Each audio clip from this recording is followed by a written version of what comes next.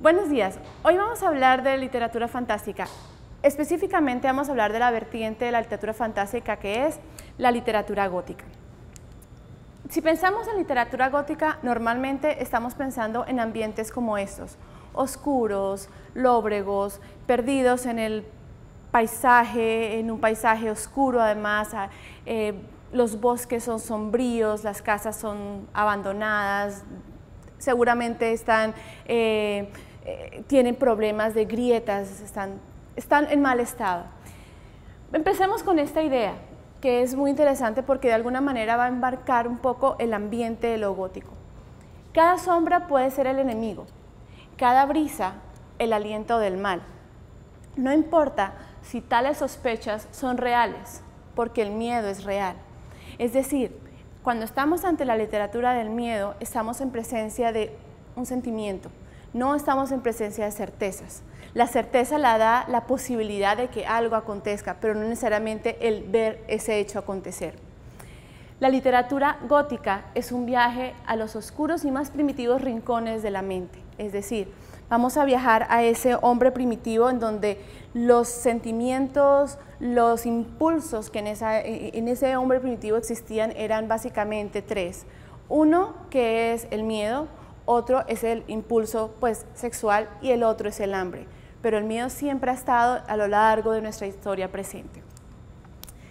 La literatura gótica como tal va a tener sus comienzos y se va a arraigar exclusivamente en Inglaterra. Su nacimiento hace Inglaterra siglo XVIII. Viene como un momento de reacción ante el clasicismo que imperaba después de todo este movimiento del Renacimiento, eh, donde el hombre empieza a ser centro del mundo. Eh, si vamos un poco más atrás en la Edad Media, Dios era el centro del universo, Dios era el que regía, la Tierra giraba, los, perdón, los planetas giraban alrededor de la Tierra y el Sol alrededor de la Tierra.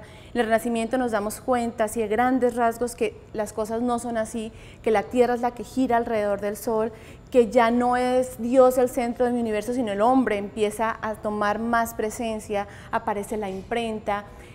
Es un, momento en donde la racionalidad, donde el pensamiento de este, del hombre de la época empieza a tomar fuerza y todos esos miedos medievales e incluso de la edad antigua empiezan a quedarse como en las leyendas. La edad de la razón, pienso, luego existo, es lo que va a regir acá. Cuando aparece el romanticismo, el romanticismo es un movimiento literario e incluso ideológico, porque también afectó la filosofía, en donde las personas empiezan a darse cuenta que sus sentimientos también, también son válidos, no es pienso luego existo, sino siento luego existo. Entonces se empieza a transformar ese pensamiento de, de entender todo a través de la razón por entenderlo a través del sentimiento. Entonces el culto al yo, lo que yo siento, lo que yo, lo que mis sentimientos empiezan a ser realmente importantes. Mis sentimientos se reflejan en la naturaleza. Si llueve, yo estoy triste. Si el día está cálido y está, los pajaritos cantan, entonces yo soy feliz ansia de libertad, queremos, queremos, no es el ansia de libertad de querer viajar y volar, sino es el ansia de ser libres de las ataduras que, me, que, me, que, por dos siglos estuve yo, que era todo, tenía que ser explicado. Yo puedo imaginar, puedo sentir, puedo, puedo eh, pues ser libre en otro tipo de, nivel, un poco más metafísico. Angustia metafísica al mismo tiempo, o sea, yo soy libre, pero al mismo tiempo no, no entiendo qué es lo que pasa, no puedo comprender porque pues ya no estoy intentando entenderlo a través de mi mente, sino a través de lo que yo voy percibiendo también. Entonces empieza también el, hombre metafísico, es el Werther de Goethe, donde es una, un, conflicto constante con respecto a lo que pienso, a lo que siento, a lo que pasa a mi alrededor el espíritu idealista, entonces empiezo a idealizar las cosas, ya las cosas son maravillosas o son terriblemente apocalípticas, son eh, caóticas o son simplemente pesimistas, optimistas, entonces empezamos a idealizar una, una nueva forma de pensar y de sentir sobre todo. El viaje metafísico es muy interesante porque el viaje metafísico es volver al pasado, pero es un volver al pasado trayendo las cosas tal como están ahora. Me explico. el hombre, el hombre del, siglo XVIII, el romántico, viaja a la Edad Media a esos espacios oscuros, lóbregos, por ejemplo, de los castillos medievales, y los trae a un siglo XVIII derruidos, acabados, em, muchos incluso con esas catacumbas todavía llenas de moho, húmedas, con muchas telarañas. Y ese viaje es el que va a permitir los nuevos ambientes que se van a recrear dentro de esta nueva eh, visión, pensamiento, literatura que se va a crear. Entonces, este, digamos, es un panorama muy a grandes rasgos, muy abuelo de pájaro, de lo que va a ser el momento en donde aparece la literatura fantástica, más específicamente la literatura gótica. La literatura gótica hoy en día se reconoce como un subgénero de la literatura fantástica. La literatura fantástica eh, podríamos explicarla de esta manera y tal vez la imagen nos puede dar pues, una, idea más o menos. Imaginémonos que estamos en un callejón oscuro, muy largo, esos callejones fríos llenos de latas y, basura, y tenemos simplemente como pequeños focos de luz o faroles de luz cada 6, 5 metros de distancia que iluminan solamente un pedacito. Si yo me paro debajo de ese foco, de ese, foco de luz, eso que me rodea yo lo puedo ver, lo puedo entender, lo puedo, lo puedo clasificar, lo puedo racionalizar porque es lo que yo veo, lo que yo percibo a través de mis sentidos. Pero a medida que ese foco de luz se va ampliando, va creciendo y va creciendo, empiezan a crearse sombras. Y, esas sombras eventualmente terminan en una oscuridad total hasta que llegamos al siguiente foco de luz. Pensemos que la realidad es ese, aro blanco de luz en el que estoy. La literatura fantástica va a empezar a moverse en ese espacio de sombras que se producen entre esa oscuridad total y esta, y esta parte blanquecina.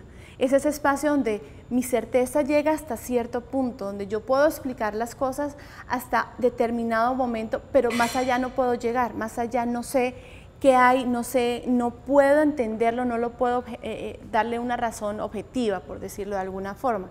Entonces empiezo a crear esa, mi imaginación empieza a ponerse como play y empieza a activarse. Más allá de eso es el, desconocimiento total. Nosotros en literatura fantástica estamos en ese, moviéndonos en ese espacio de sombras. Obviamente la literatura evoluciona y más adelante encontraremos textos donde ya vamos directamente a la zona de oscuridad. Y normalmente estamos la presencia del mal que hay en esas zonas de oscuridad porque somos agredidos por algo que está allí. Es algo que no puedo explicar por una parte, pero por otra parte me está esperando y sobre todo está esperando a que yo dé ese paso, transgreda cierto límite para poder atacar. De lo contrario, simplemente está ahí esperando. Pasa mucho en las películas de miedo que vemos constantemente, en donde el personaje está caminando por una, cuadra y de repente ve una casa acabada, derruida, y pues lo lógico, la razón nos dice, siga derecho, no pare, continúe, pero el que hace, pues entra, tiene que entrar, porque al entrar él está simplemente generando, dándole como el play o el visto bueno para que eso, ese mal acontezca. La literatura fantástica está ahí y la literatura gótica eh, entraría también allí. Eh, es importante aclarar, como les dije al principio, que dentro de lo fantástico, la literatura fantástica, la vertiente, una vertiente es lo gótico o la literatura de miedo. Otras vertientes son la literatura de detectives y otra vertiente sería la literatura de ciencia ficción. ¿En qué se diferencian básicamente las tres? La literatura de miedo por lo general yo no explico ese hecho extraño que acontece, no lo puedo explicar, simplemente acontece y muchas veces acontece para acabar conmigo, para matarme o para, en peor de los casos, llevarme a la locura. Pero la literatura de detectives, ese hecho fantástico, ese hecho extraño que acontece, lo puedo explicar a través de la razón. Es el caso, por ejemplo, de los textos de detectives que manejó Edgar Allan Poe, Los crímenes en la calle Morgue, o el caso de Mary Roger, o La carta robada, en donde hay un hecho extraño que pasa, que parece incluso inexplicable, pero a través de la lógica, de la razón lógica, puedo yo dar eh, una respuesta, un resultado, un por qué ocurre eso. La literatura de ciencia ficción, por otra parte, va un poco más allá. Ese hecho extraño acontece, pero yo lo puedo explicar a través de la ciencia. Entonces, la ciencia aparece como una forma, también una herramienta para explicar esa, esa zona de sombras. Eh, ya, ya podemos entrar en ella tranquilos porque la tecnología me va a permitir explicar muchas cosas. Ya lo vamos a ver más adelante que este ambiente y, todo, el ambiente gótico se va a transformar con la aparición de la tecnología. Em, como les decía, vamos a estar parados en el siglo XVIII. El siglo XVIII, les decía, vuelve al pasado medieval. Estas casas antiguas eh, van, a, van, a, empezar a formar parte de ese corpus o de ese imaginario nuevo que se empieza a crear. Van a retomarse temas como los fantasmas. Obviamente un, fantasma era inconcebible en la edad de la razón, pero pues en esta época romántica ya el fantasma es perfectamente plausible monstruos, seres sobrenaturales, tal vez el más llamativo y tal vez el más conocido y más conocido hoy en día por todos el vampiro, que además conocido es bastante popular dentro como en la cultura pop. El uso de las velas, de alguna manera, también va a beneficiar el, manejo de, esta imaginación, porque no sé si a ustedes les ha pasado, están en, se va la luz se encienden velas en la casa, no hay televisor, no hay computador, no hay mayor cosa, tenemos que charlar. Las velas producen movimientos en las paredes, sombras, eh, incluso sombras extrañas que normalmente no veríamos. Y yo no sé si les pasa, pero en casi todos los lugares donde tenemos ese ambiente empezamos a contar cuentos de miedo. Siempre empieza, están relacionadas, es, un espacio que permite ese tipo de historias. Y obviamente, cuando cruzamos los límites, como les decía ahora, pasamos de esa zona de luz a esa zona de sombra, estamos inminentemente enfrente a un castigo. Ese castigo puede ser la muerte o puede ser la locura. Los relatos de Lovecraft, que serán en el siglo XX, Lovecraft manejará mucho el castigo como locura. Entonces, esas son como, como las claves más, más también a grandes rasgos para distinguir lo que sería la literatura de miedo. Si nosotros vamos a mirar los temas propios de la literatura fantástica o la literatura de miedo, pues son muchísimos. Principalmente la superstición. La superstición está ligada mucho a la historia medieval, a la historia de las brujas. Para eso podríamos irnos incluso más atrás, tendríamos que llegar a Roma, cuando Roma y Grecia incluso, cuando un griego era expatriado, tenía que salir de la ciudad, él perdía toda razón de ser como ciudadano. A mí me yo era ciudadano en la medida en que el otro me reconociera, pero si el otro a mí no me reconoce, yo no soy nadie. Entonces el único sitio al que podía ir era al bosque. En el bosque tenemos a los dioses del bosque, faunos, eh, está Dionisio, están todos los seres propios de la época de, pues, propios de la época, digamos, mitológica. Sin embargo, si nosotros tenemos que pensar que eso se transforma y va, y va pasando como de tiempo, generación en generación, nos vamos a dar cuenta que llegamos a la Edad Media y con el arribo del cristianismo, esos faunos Dionisio se transforman y se convierten en brujas y demonios. Es el, pues, el fauno era un hombre, un hombre mitad cabra, mitad persona, entonces tener el macho cabrío y el macho cabrío relacionado con el demonio y empezamos a establecer nuevas relaciones. Esas relaciones están ya más dadas con el tema de la religión. La superstición está ligada directamente con el tema de la religión. Después empezarán a crear otro tipo de supersticiones y todas ellas siempre nos llevan a la idea de la muerte o de un castigo. No paso debajo de una escalera porque algo me puede pasar.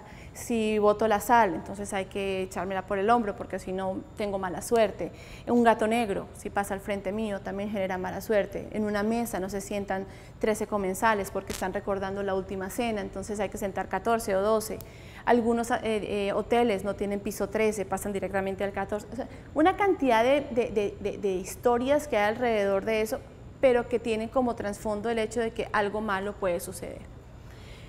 Lo sobrenatural, que ya lo hemos mencionado anteriormente, que tiene que ver con la idea de algo extraño que acontece, algo que no es natural, algo que no es cotidiano, acontece, aparece en mi mundo y simplemente viene a trastocarlo, a transgredirlo y muchas veces a aniquilarlo. Viejas leyendas europeas, todo lo que tiene que ver con fantasmas, aparecidos, historias, ultratumba, el, el mito del vampiro, por ejemplo, todo este tipo de historias que se traen a colación simplemente para reforzar el carácter de lo, de lo fantástico. El doppelganger o el doble, la idea del doble, de tener que tenemos un otro como yo en alguna parte del mundo. Muchos, el Orla, por ejemplo, de Guy de Maupassant, maneja esa idea, pero la idea del doble también como vampiro. Entonces es una idea muy interesante. Eh, el difunto yo, de Julio Garmendia, él es un escritor venezolano, también maneja la idea de un doble y él va por las calles y le van diciendo, oiga, lo vimos en tal parte, dice, pero yo no estaba ahí. Y es la angustia de él de saber, pues, quién estaba ahí, todo el mundo dice que soy yo, pero yo no era el que estaba ahí. Entonces volvemos a generar esa angustia de la que hablábamos al inicio. Tenemos mundos paralelos, esas posibilidades de atravesar y de atravesar como planos, y eso lo maneja mucho la ciencia ficción y lo maneja mucho el cine hoy en día. El cine, el cine español, por ejemplo, tiene películas en donde un personaje pone cámaras para grabar a su hijo mientras duerme, pues estas cámaras de seguridad, y cuando él menos se da cuenta, él está viendo a alguien sentado con su hijo, pero realmente no es su hijo, sino es un mundo paralelo que él está viendo a través de la cámara. Entonces, eso se empieza, a, se empieza a trabajar muchísimo y se empieza a profundizar en ese tipo de temas. La magia, hechizos, pactos con el diablo relacionados con las leyendas, relacionados con la superstición, obviamente con lo sobrenatural. Eh, monstruos, los monstruos clásicos de la literatura fantástica están dados por aquellos que construimos nosotros, el caso de Frankenstein, que curiosamente es un texto que a pesar que fue escrito a principios del siglo XVIII, más o menos, el texto, el texto habla de la, de 19, perdón, el texto habla de la posibilidad de crear nueva vida a través de la ciencia. el personaje, el doctor Frankenstein, crea esta monstruo, esta criatura, la hace a, través, a partir de fragmentos de cuerpos, de cadáveres, pero utiliza la ciencia, en este caso la electricidad, para lograr esa chispa de vida que él le quiere dar al monstruo. Es muy interesante porque eh, la, autora se basa en experimentos que se estaban haciendo en la época, o sea, estábamos trabajando la parte científica, pero para crear un cuento, una historia de terror. Entonces es como la mezcla de las dos historias o de los dos, las dos vertientes. El sueño, el sueño es muy interesante como herramienta de lo fantástico porque se dice que los dos únicos momentos en que el ser humano es más vulnerable es cuando está dormido o cuando se está bañando. Por ejemplo, la película Psicosis, si, la recuerdan, la el personaje se está bañando y es cuando entra el asesino. No tengo con qué cubrir, no tengo con qué defenderme. El sueño es lo mismo. Entonces el sueño, cuando el personaje está durmiendo, es capaz de producir esos monstruos. Y lo vamos a ver, Goya, Goya maneja una imagen muy bonita, la veremos más adelante. Pero al mismo tiempo, al mismo tiempo, eh, cuentos como el de Hoffman, El hombre de arena, hace también esa idea la leyenda alemana dice, que a las mamás le decían a los hijos que se durmieran pronto porque venía el hombre de arena. Y el hombre de arena era bastante cruel porque le echaba arena en los ojos y les hacían sangrar los ojos. Entonces, ante esa idea, todo mundo se iba a dormir, obviamente. Pero parte, fíjense que volvemos a las leyendas y las leyendas empiezan a transformar para convertirse en literatura. Y finalmente, castigos y venganzas se puede relacionar casi que con todo. El fantasma que viene a castigarme, el fantasma que viene a vengarse por algo que pasó, el fantasma que a lo mejor ni siquiera yo soy, yo soy culpable de lo que le pasó a él, pero ese tiene que vengar de alguien.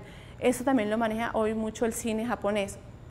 Los remakes americanos lo, intentan reproducir, pero siempre me quedo con que Japón maneja mejor la, la tensión de literatura de miedo.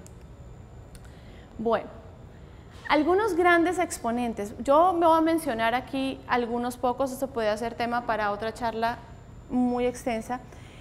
Algunos exponentes que tal vez les dejaría para que revisaran, miraran y de repente pudieran profundizar un poco más son los siguientes. Tal vez Edgar Allan Poe pues, es como el, eh, el papá de la cuentística moderna, pero al mismo tiempo quien va a dar los lineamientos de lo que es el relato de miedo, pero además el relato psicológico. Yo les recomendaría que buscaran los textos de él eh, traducidos por Cortázar, tal vez son los mejores, y todos los textos que tienen que ver con lo sobrenatural. Entonces, eh, La caja oblonga, El entierro prematuro, Ligeia, tal vez como de los clásicos.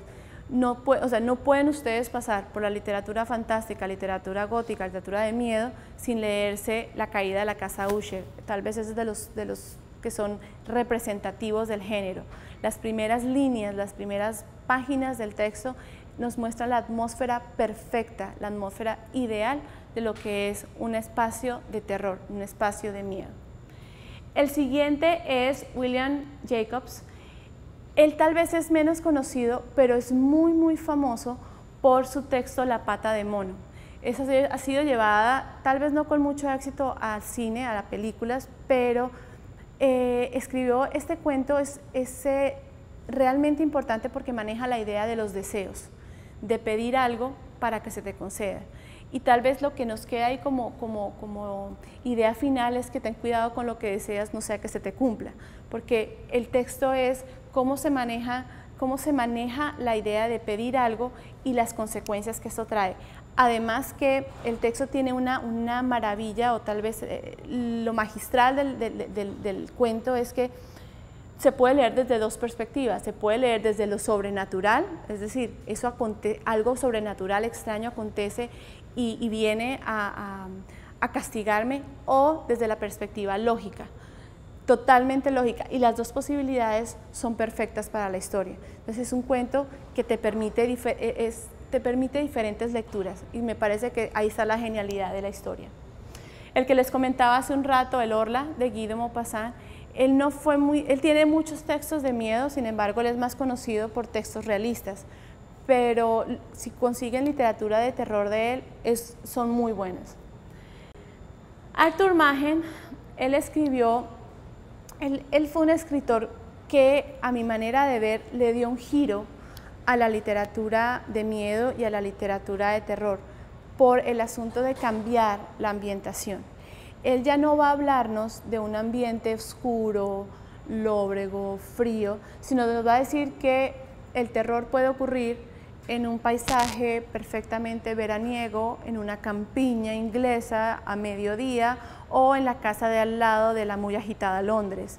Es decir, nos va a cambiar totalmente el lugar y la atmósfera de donde antes nos decía que tenía que ocurrir el terror.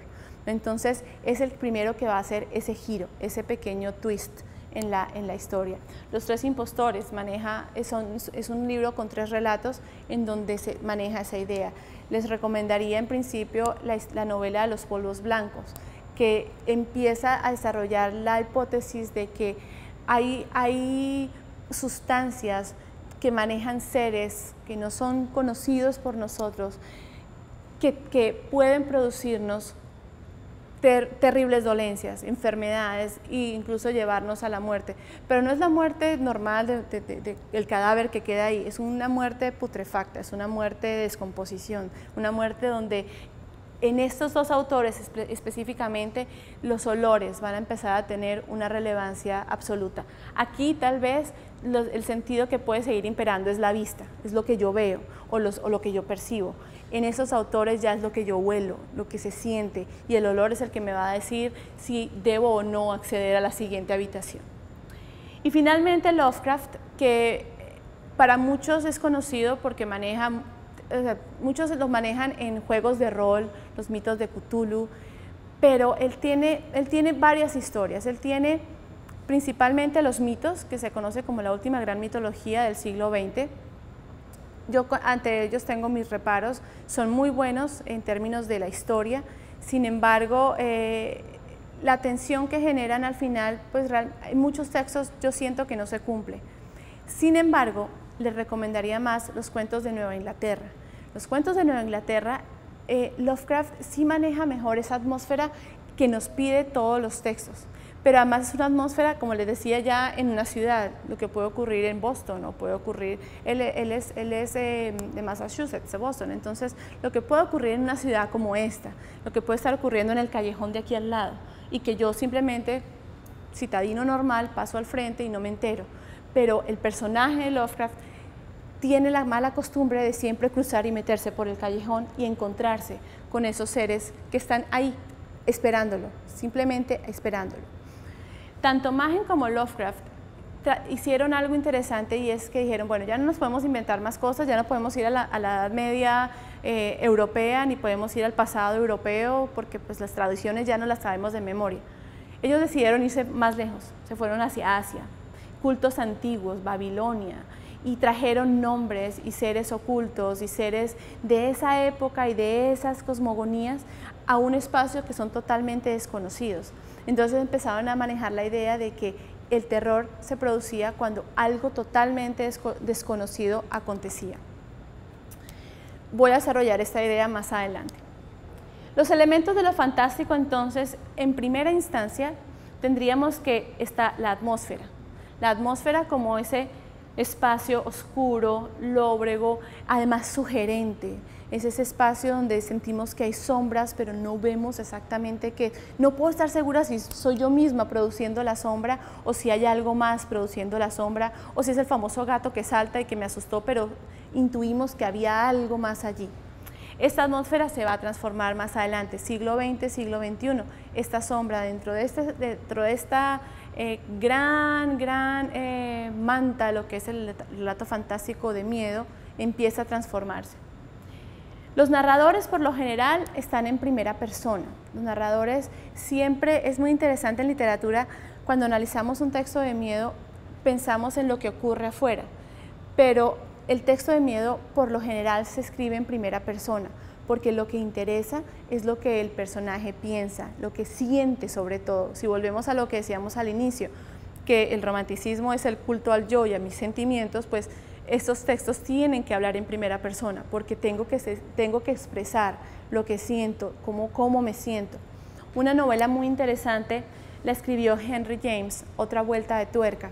En Otra Vuelta de Tuerca es la historia de una institutriz que llega a una casa alejada de Londres a cuidar a dos niños que han sido, pues, son huérfanos, los cuida el tío, pero el tío realmente es más, pues, de la vida de londinense, entonces él no tiene tiempo para cuidarlos, necesita tener una institutriz. La última institutriz murió ahogada y el que era como el capataz de la, de la mansión también desapareció, se intuye que está muerto también. Ella llega y eh, y empiezan a acontecer una cantidad de hechos sobrenaturales, aparecen fantasmas, eh, los ve ella, los niños, que además es interesante la figura del niño, que se retoma mucho después en el siglo XX. Eh, Stephen King, escritor de miedo, maneja mucho la figura del niño como elemento conductor del mal. Empieza a aparecer también como esa posibilidad de que el niño es capaz de ver algo que está más allá, pero, pero es una ambigüedad constante, es una ambigüedad constante. Es un texto muy bien escrito, es un texto muy bien logrado. Si tienen oportunidad de leerlo, eh, es un texto que vale la pena tener dentro de, dentro de la lista de lecturas hechas.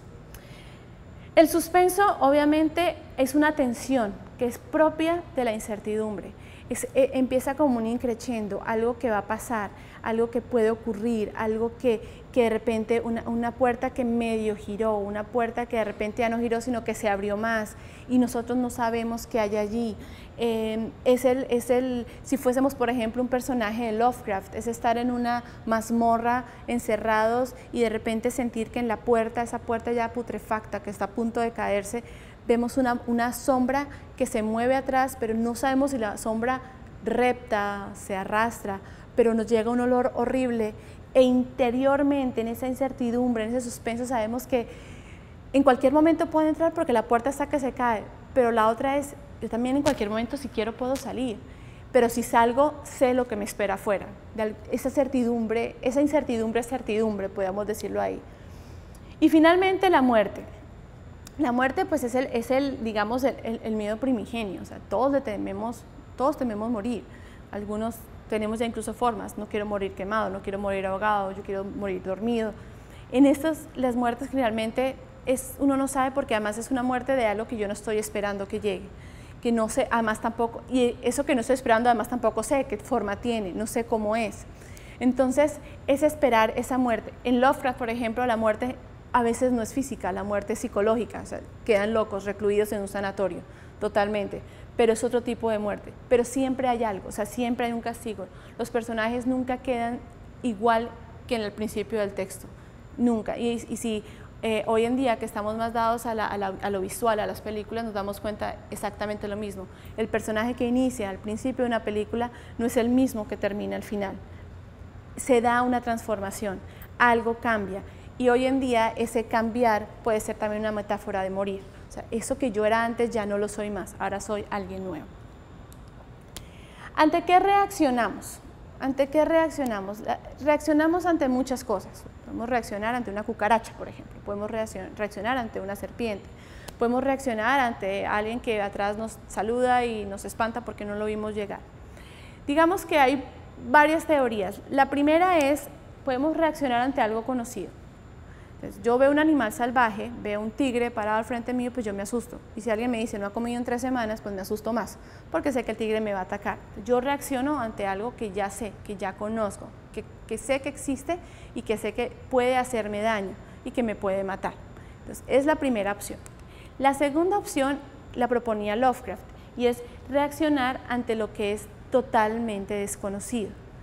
Eso, le servía mucho a Lovecraft porque manejaba ese ambiente de sugestión, ese ambiente en donde no, no sé qué hay allí, pero puedo, puedo imaginármelo y mi imaginación me da miles de posibilidades.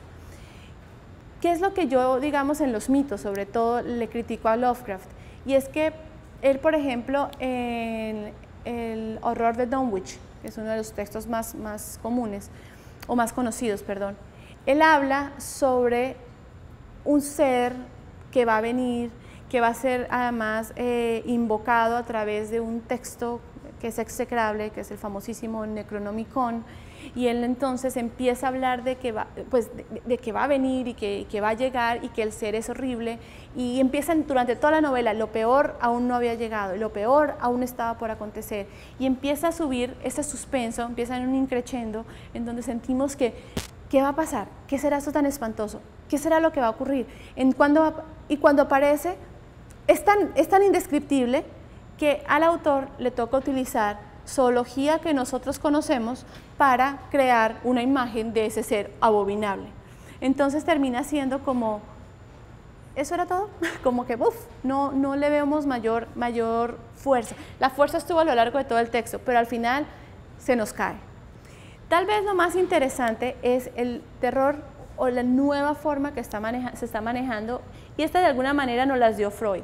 Freud nunca escribió sobre literatura, jamás. Él, se dedicó a su psicoanálisis. Sin embargo, el único texto que tiene sobre, hablando de literatura, lo tiene a, em, propósito del texto de Hoffman, del el hombre de arena. Él decía que nosotros no reaccionamos ni ante lo desconocido ni ante lo conocido sino ante lo no familiar.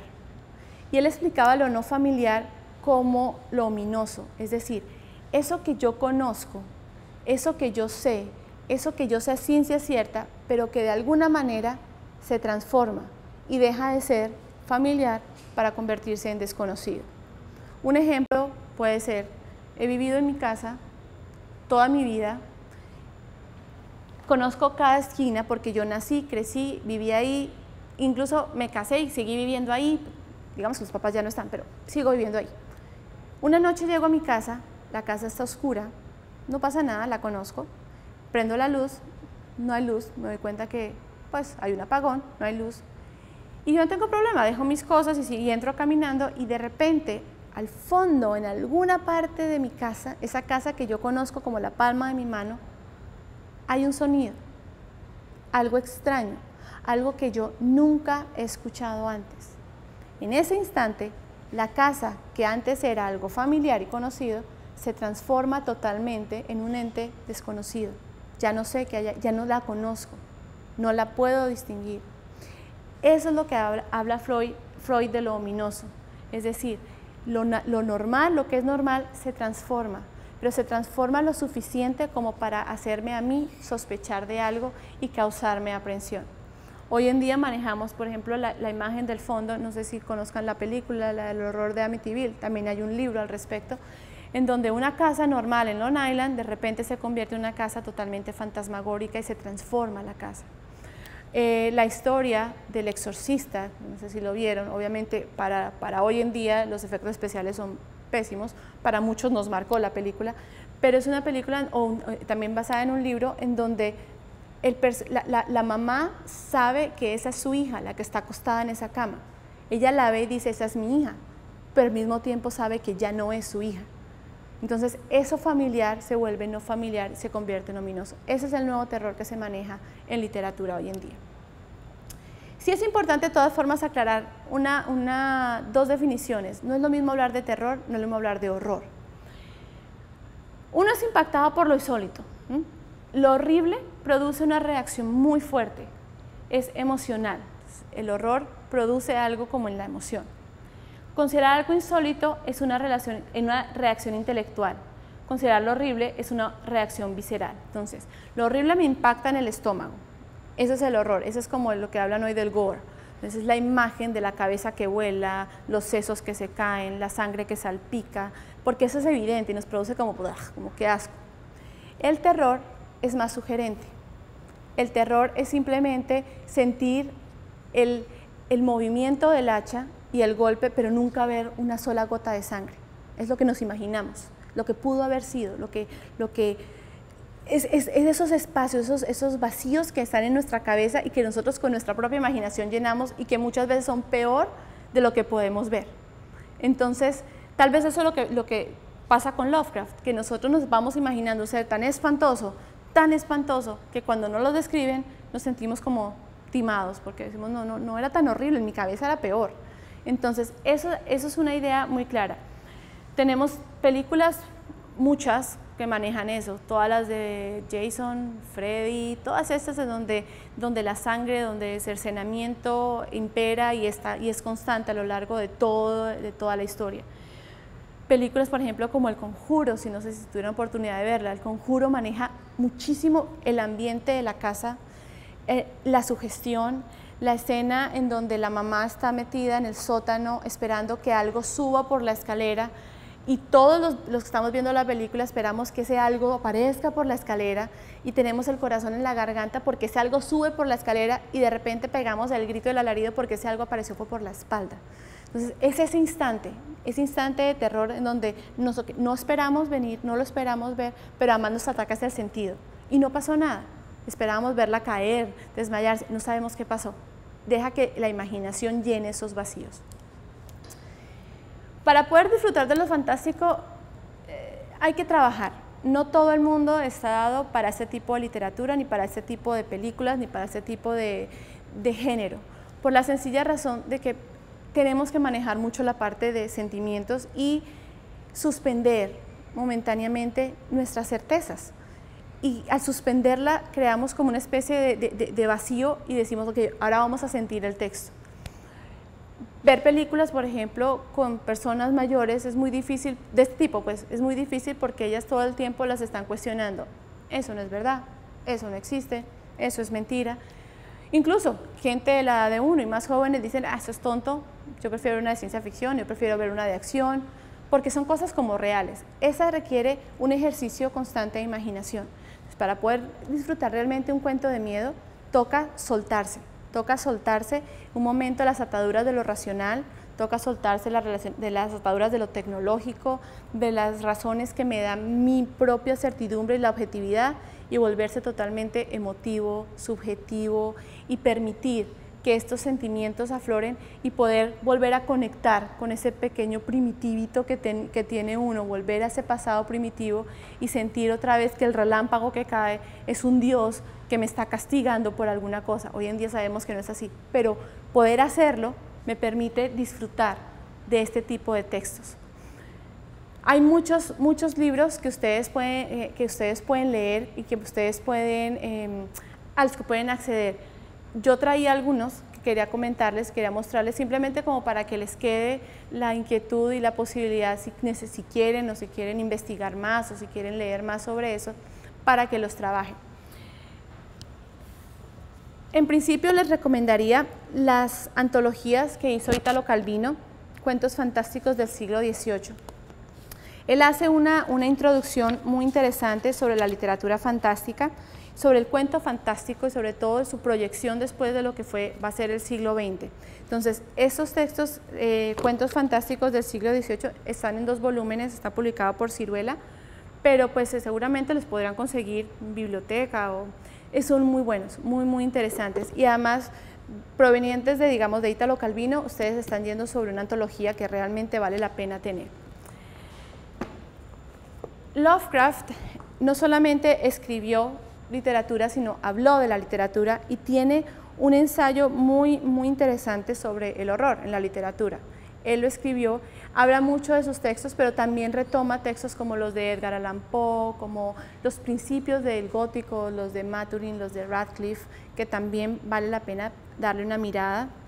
Charles, Charles Nodier escribió uno que se llama Infernalia, este de Infernal, Charles Nodier es muy interesante porque él es escritor, pero también era bibliotecólogo, y él lo que hizo fue introducir el romanticismo en, digamos, al, mundo de él, a, su ciudad, a su región, y eh, a Francia, de hecho. Y él empieza aquí a hacer una recolección de textos de otros autores, pero también de él, en donde va a retomar mucho la literatura y las leyendas propias francesas también es muy interesante leer. Mm, hace un rato hablábamos de el texto de Jacobs de la pata de mono a través de pedir un deseo. Nos pides un deseo, no sea que se te cumpla. Les recomendaría leer, si es que no lo leyeron ya, a veces incluso se pide en los colegios, pero en cualquier edad vale la pena leerlo, El diablo de la botella de Stevenson, que es muy, muy, muy interesante la temática porque es la historia de un personaje que consigue una botella que, le da todo, todo lo que él quiera. Lo único es que dentro de la botella hay un diablo, un diablillo. Y ese diablo, si tú te mueres teniendo, poseyendo la botella, el diablo se lleva tu espíritu. Entonces volvemos a las supersticiones, ¿no? De, que perder tu alma, dársela al diablo.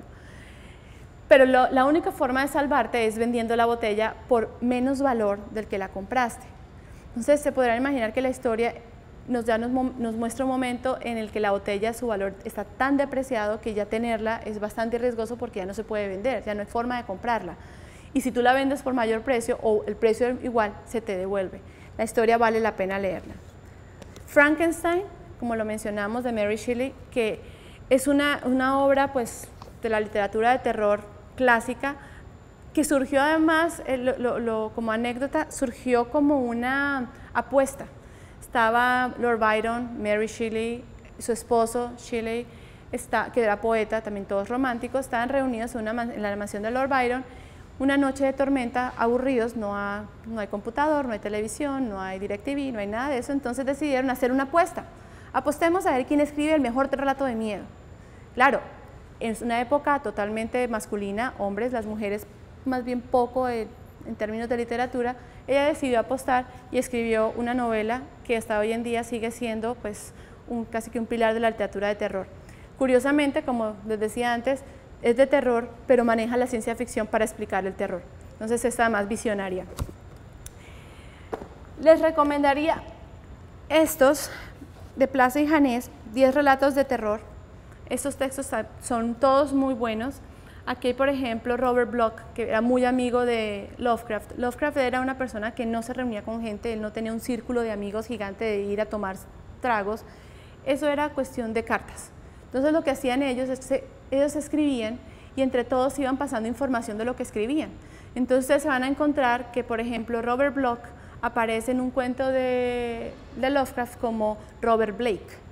Eh, otros personajes de Lovecraft aparecen en cuentos de Lord Dunsany, por ejemplo, y los mismos monstruos aparecen en otras historias y por eso los mitos de Cthulhu son tan, tan fuertes, porque los encuentran en diferentes textos de diferentes autores y se empieza a generar la ficción de si son reales o no son reales. Ese texto, este tiene muy buenos cuentos. Tiene Bram Stoker, que no lo mencionamos, pero ya que lo leo lo menciono. Bram Stoker, escritor de Drácula.